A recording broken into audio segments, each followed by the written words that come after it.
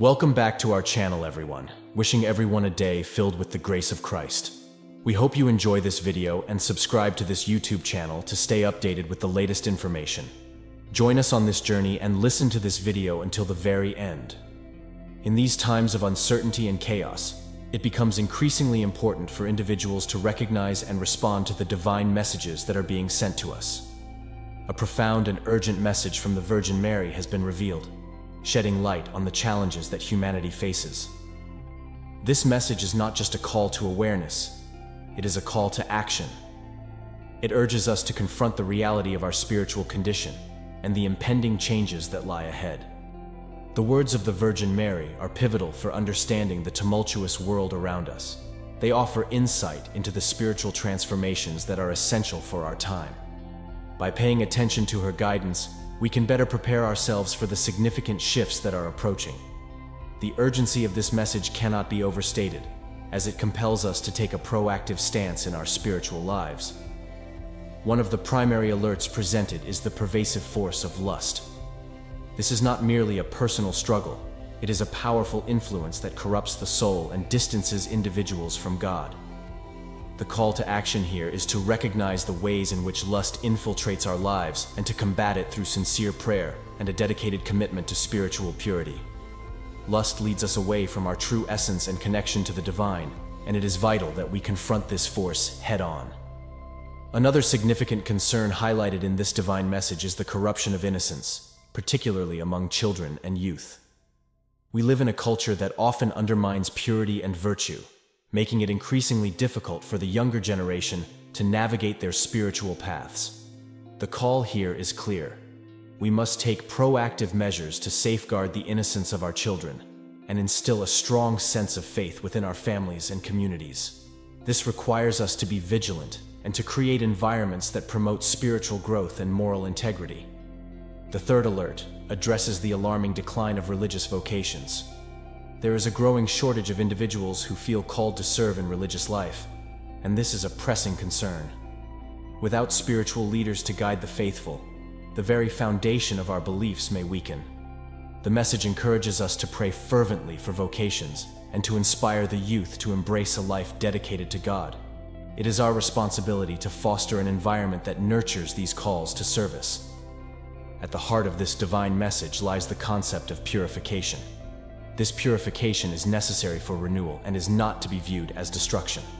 Instead, it is a process that involves tribulations, but ultimately leads to a rebirth of faith and a new era of peace. We are already witnessing signs of this purification in the world around us. Global events are reflecting the necessity for a collective spiritual awakening. The purification is a divine intervention meant to cleanse the world of its impurities and guide humanity back to its true purpose.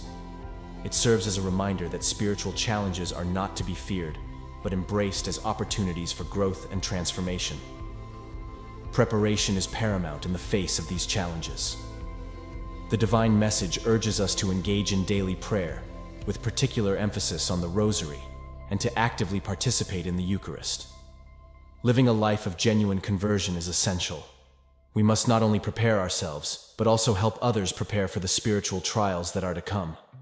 By spreading the message of faith and hope, we can create a ripple effect that inspires others to embark on their spiritual journeys. It is crucial to understand that our faith is not a passive experience. We are called to be active participants in our spiritual lives, fortifying our connection with the divine the act of prayer should not be seen as a mere obligation, but as a vital source of strength and guidance. Despite the foreseen challenges, there is a profound assurance that light will ultimately triumph over darkness.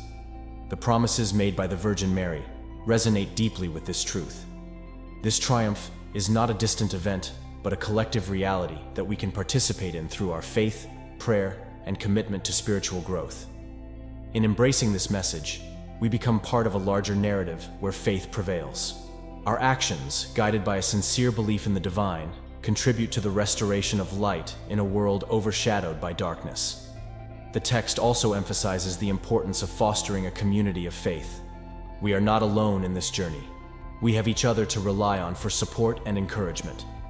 By building strong connections with those around us, we create a protective network that can withstand the challenges posed by contemporary society. This sense of community serves as a source of strength, allowing us to navigate our spiritual paths together. Encouraging open dialogue about faith and spirituality can help fortify these connections. When we share our experiences and insights, we create an environment where individuals feel empowered to explore their beliefs without fear or judgment. As we reflect on this divine message, we must acknowledge the urgency of spiritual preparation. It is not enough to simply acknowledge the challenges ahead. We must actively engage in practices that strengthen our faith and connection to the divine.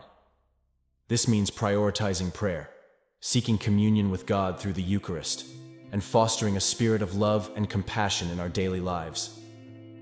In the face of trials, let us remember that our faith is our greatest asset. It is through prayer, particularly the Rosary, and participation in the Eucharist that we find our strength. These practices will ground us during turbulent times and ensure we are equipped to face the challenges that arise. As we move forward, we must be mindful of the opportunities for grace and blessings that await those who are spiritually prepared. The divine promise of light and love will prevail for those who have unwavering faith. The final message is one of hope and resilience. We are called to be beacons of light in a world that often feels dark and overwhelming. Each of us has the potential to inspire others, to share the truth of the divine message, and to create a ripple effect that transforms lives. In conclusion, this call to action is not merely a suggestion, it is an urgent reminder that we have a role to play in the unfolding of divine plans. Let us embrace the teachings of the Virgin Mary, fortify our faith, and support one another in our spiritual journeys. Together, we can navigate the challenges ahead and emerge stronger, united by our commitment to the light of faith. As we continue to spread this message of hope and love, we must remain steadfast in our devotion to God and to each other. The light will prevail, and we have the power to be a part of that triumph. Thank you for being part of this journey. Your presence and engagement make this exploration meaningful and impactful.